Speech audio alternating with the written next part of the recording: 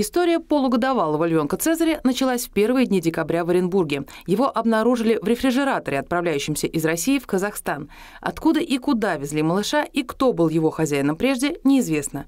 Выяснением обстоятельств сейчас занимаются следственные органы, а малыш, невольно ставший вещдоком, на время расследования отправлен в Ульяновский зоопарк. Ну, привезли его достаточно в таком тяжелом, сложном состоянии, то есть повреждениями многочисленными, то есть от э, того неправильного содержания, которое было до этого, и во время перевозки. Повреждения были у него на морде, повреждения на лапах. Вот. Ну и, видать, к нему применялись те или иные психотропные седативные средства для того, чтобы он не был такой активный. Сейчас малыш проходит лечение и адаптацию. За месяц в Ульяновском зоопарке львенок заметно подрос и окреп. Людей не боится, ласковый, игривый, словно котенок, но лапы у него тяжелые. И характер царя зверей дает себя знать. Но котенок, который пытается, как любая кошка, уже э, становиться все сильнее, так сказать, закрепиться, как бы, чтобы э, немножко так чисто даже иерархически как бы стать более на высоком уровне. И, конечно, это проявляется в его характере, поведении и так далее.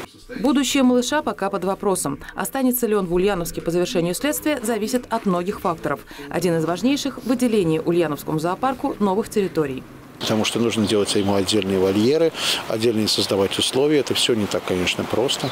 Мы сейчас по-всячески решаем данные вопросы, то есть обсуждаем их и пытаемся на, со, с разными людьми, ну, для того, чтобы, конечно, Цезарь остался в Ульяновском зоопарке и здесь дальше продолжил свое существование.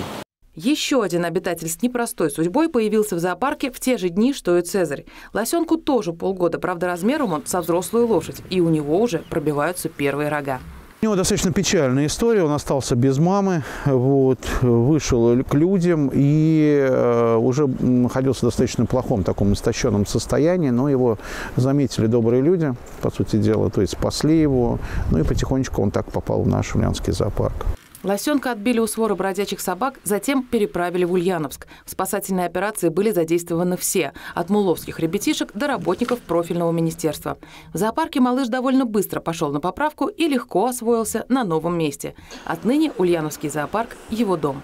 Он, а, так сказать, запечатленный на человеком. То есть он уже не, его нельзя уже выпустить в естественную среду обитания, потому что там он не сможет просто выжить. Ну, у нас люди все разные, то есть он начнет сразу подходить к людям, но люди все, как мы знаем, одни добрые, вторые не очень. И львенка, и лосенка ульяновцы смогут увидеть не раньше весны, при условии, что зоопарку удастся построить для малышей комфортные вольеры. Юлия Шукунова, Сергей Кудаков. Новости Улправды ТВ.